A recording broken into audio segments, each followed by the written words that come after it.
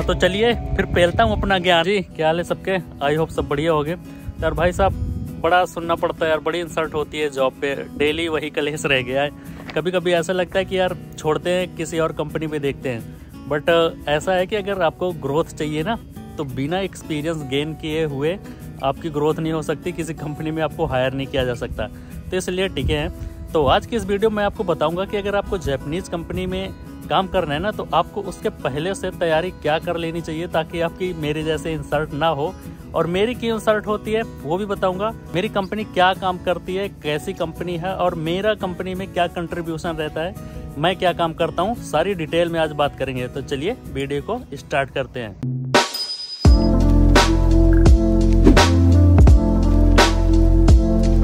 मैं अपनी कंपनी के बारे में पहले आपको बता देता हूँ। मेरी कंपनी एक मैन्युफैक्चर कंपनी है, जो कि फर्नीचर से रिलेटेड प्रोडक्ट बनाते हैं वो। जैसे कि आप कोई भी ऑफ़िस में या फिर घर में यूज़ करते हैं कि ये बेड और चेयर के अलावा छोड़ के ड्रॉर या फिर अलमीरा टाइप के जो भी होते हैं तो ऐसे प्रोडक्ट बनाते हैं। मेरी कंपनी का बिज़नेस अभी बी टू लेवल का है तो ये डी टू में करना चाहते हैं।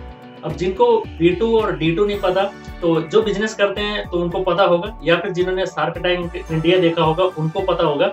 तो जिनको नहीं पता उनको बता देता हूँ थोड़ी सी इजी लैंग्वेज में कि डी टू होता है कि जो आप डायरेक्ट टू कस्टमर को प्रोडक्ट सेल करते हैं जो बी टू होता है जो कि आप किसी को अपने डीलर बनाते हैं या फिर कहीं किसी शॉप में सेल करते हैं अपना प्रोडक्ट फिर वो कस्टमर के पास जाता है।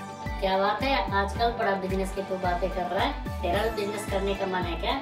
ज्ञान मत पे वीडियो को आगे बढ़ा। जो आप सुबह नौ से छह बजे तक करते हैं ना उससे चलती है हमारी लाइफ अपने रोजी रोटी, और जब आप छह से नौ या दस उसके बाद जो करते हैं उससे कंप्लीट होते हैं हमारे ड्रीम हमारे एम और सुनो ज्ञान वही फैलता है जिसको ज्ञान होता है। समझा? इसको इग्नोर करो वीडियो देखो। तो मेरी कंपनी में ऑर्डर आते हैं, जैसे कि यहाँ पे जापान में एक बहुत फ़ेमस फर्नीचर से रिलेटेड कंपनी है टोक्यो इंटीरियर वहाँ से ज़्यादा ऑर्डर आता है।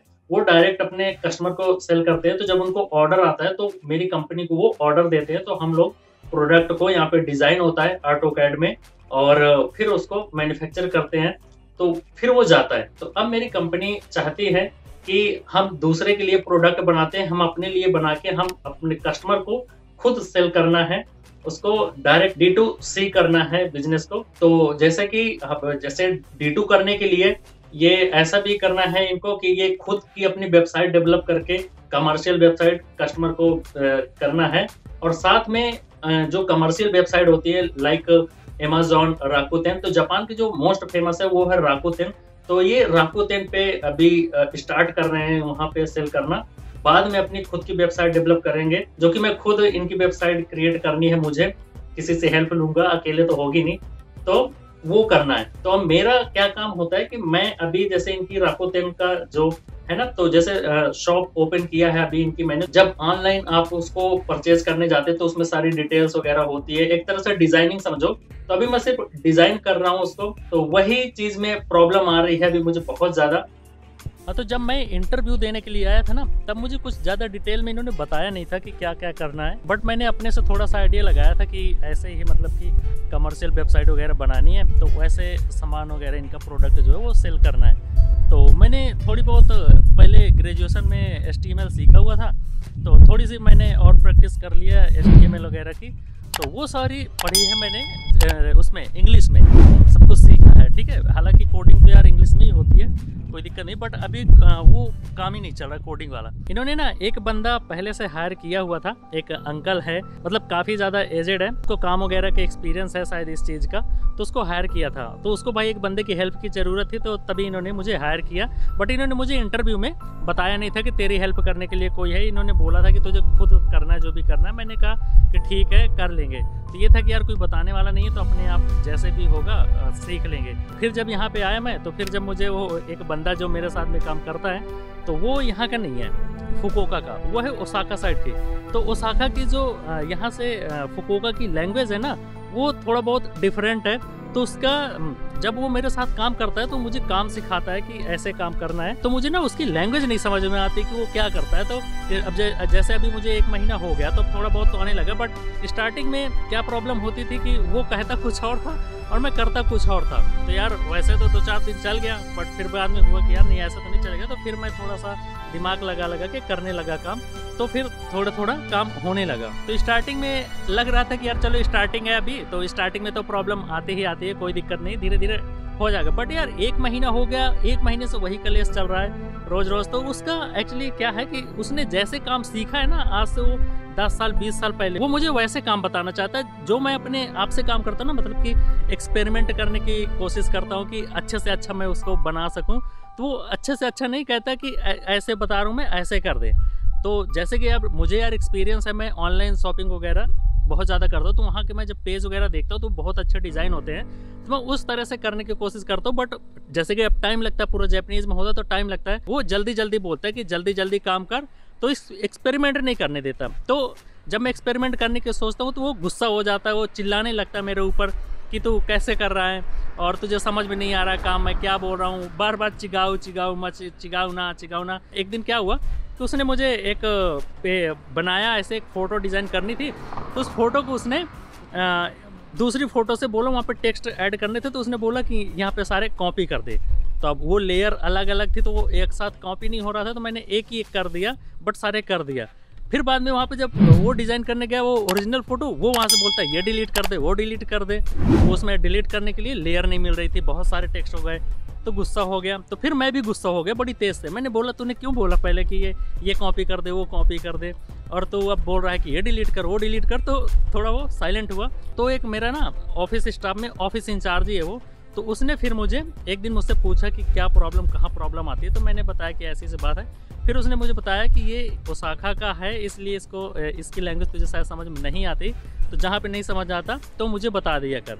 तो एक दो महीने से ऐसे चल रहा है। अब मैंने फिर जब ये था कि यार, काम थोड़ा लेट होता था तो ये कहता था कि जल्दी कर। मैंने अपना सिस्टम पूरा इंग्लिश में कर लिया। तो इंग्लिश में ये था कि अब जैसे ही जैपनीज में करता है, ये तो फटाफट कर लेता है बट ये पूरा टूल्स पढ़ता है। और मैं हूँ तो शॉर्टकट से कर देता हूँ फटाफट। तो अब मैं जैसे इसकी लैंग्वेज जैसे समझ नहीं आती तो मैं काम करता रहता हूँ तो थोड़ा एक्सपेरिमेंट करके देखता रहता हूँ कि ये ऐसे होगा, वैसे होगा। तो उसे लगता है कि मैं इसे और कुछ बोल रहा हूँ, ये कुछ और बोल रहा है। हालाँकि अब मैं अच्छे से काम कर लेता हूँ, जो बोलता है, वो करता हूँ, उससे अच्छा ही काम करके देता हूँ। बट उसका क्या है कि वो अपने तरीके से करवाना चाहता है काम। तो मुझे भी गुस्सा आती कभी कभी लगता है छोड़ दो क्या? हालाँकि जो मेरा मेन बॉस है ना, वो मुझे कुछ नहीं बोलता। वो सुबह से वो मेरा साथ जो काम करता है, वो डेढ़ बजे आता है तो मेरी जॉब रियल में डेढ़ बजे से स्टार्ट होती है, पाँच बजे तक के लिए। बाकी पाँच, साढ़े पाँच घंटे में ऐस करता हूँ।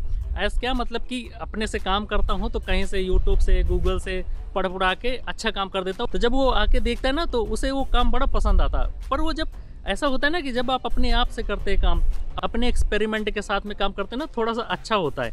तो जो बॉस होता है ना, अगर आपके पास बॉस खड़ा हो गया ना तो फिर वो जो काम अच्छा होना होता है ना, वो भी खराब हो जाता है। तो कभी कभी लैंग्वेज भी नहीं समझ में आती और लैंग्वेज ना समझ आने के ना एक और रीज़न है। अब होता है ना कि जब वो पास में खड़ा होता है, काम करवाता है तो उसका डर के मारे से ऐसा होता है कि कहीं मिस्टेक ना हो जाए तो मैं अपने काम पे ध्यान देता रहता हूँ, उसकी लैंग्वेज उसकी जो बोलता है, उस पर थोड़ा सा ध्यान कम मेरा जाता है। तो उसमें और उसमें और लैंग्वेज समझ में नहीं आती। हालाँकि मुझे यार इतनी लैंग्वेज आती है कि मैं आ, बाहर अच्छे से बोल लेता हूँ सब कुछ कर लेता हूँ बट जो होता है ना कि बॉस का खौफ होता ही होता है। और यहाँ पे यार काम करने में सच पे यार लैंग्वेज का बहुत बड़ा बैरियर है।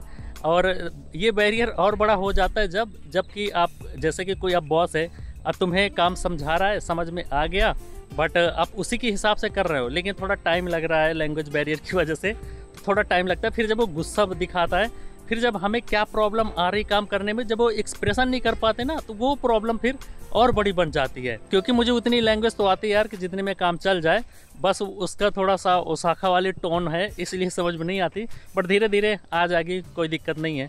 मेरा जो ऑफ़िस इंचार्ज था ना उसको मैंने एक दिन प्रॉब्लम बताई अपने कि ये ना एक्चुअली काम करने के जैसे तरीके से काम इसने सीखा है, वो ऐसे मुझे सिखाना चाहता है काम पे। वो एक्सपेरिमेंट नहीं करने देता और जब एक्सपेरिमेंट नहीं करेंगे तो कोई अच्छी चीज़ कैसे बनेगी? तो उसने भी बोला कि सही बोल रहा है बट अब क्या करें? वो जैसे बोल रहा है, वैसे ही काम करने की कोशिश कर तू ज़्यादा ठीक रहेगा। बोला था कि भी तू तीन महीने की ट्रेनिंग में है तो ज़्यादा दिक्कत लेने की ज़रूरत नहीं है, ज़्यादा परेशान मत होना टेंशन की ज़रूरत नहीं है बट हाँ ये है कि काम तो सीखना पड़ेगा, काम तो करना पड़ेगा तो थोड़ा सा गम बातें कर। मैंने बोला हाँ ठीक है, करूँगा, लेकिन ये ट्रेनिंग सिर्फ़ यार नाम की ट्रेनिंग होती है, करना सब अपने हो, अपने आप ही होता है। तो यार ऐसा है कि अगर जापान में जॉब करना है ना भाई तो पहले लैंग्वेज आप सीख लो और कहाँ, किस फ़ील्ड में आपको काम करना है, उस फ़ील्ड को आप मज़बूत कर लो। और अगर कोशिश करो कि उसको जैपनीज़ में करना धीरे धीरे स्टार्ट कर दो तो ज़्यादा अच्छा होगा, उसकी प्रैक्टिस करना स्टार्ट कर दो तो आपको काम पे प्रॉब्लम नहीं आएगी। हालाँकि यार प्रॉब्लम कभी ज़िंदगी की कम नहीं होती, लेकिन जॉब से जो रिलेटेड होती ना, जितने एक्सपीरियंस अच्छा होता है, उतने अच्छे से काम कर पाते हैं। इसलिए कंपनी में जाने से पहले आप थोड़ी सी प्रैक्टिस कर लोगे ना तो ज़्यादा अच्छा होगा। जो स्टार्टिंग में प्रॉब्लम आती है ना, वो झेलना बहुत मुश्किल होता है। तो उसको झेलने के लिए आपको सिर्फ़ वही करना पड़ेगा कि आप प्रैक्टिस करें, तभी यहाँ पे सुकून है, नहीं तो फिर बहुत मुश्किल है काम करना। तो ठीक है गाइज़ इस वीडियो में यहीं तक। आई होप ये वीडियो आपको पसंद आया होगा। और पसंद आया हो तो प्लीज़ वीडियो को लाइक करना। जापान से रिलेटेड कोई भी क्वेरी है क्वेश्चन है, आप मुझे इंस्टा में या इस वीडियो कमेंट में पूछ सकते हैं। और सच में जिन्होंने चैनल सब्सक्राइब कर रखा है, उसे दिल से बहुत बहुत शुक्रिया है। और जिन्होंने नहीं किया यार, कर लेना प्लीज़, क्योंकि यार आप लोगों के लिए बहुत मेहनत करता हूँ मैं कि आपको अच्छा से अच्छा कंटेंट आपके लिए लेके आऊँ जापान से रिलेटेड इन्फॉर्मेशन आपके लिए अच्छे से अच्छे लेके आऊँ। तो प्लीज़ चैनल को सब्सक्राइब कर देना। तो ठीक है, मिलते किसी और वीडियो में। तब तक के लिए bye bye sayonara take care जय हिंद।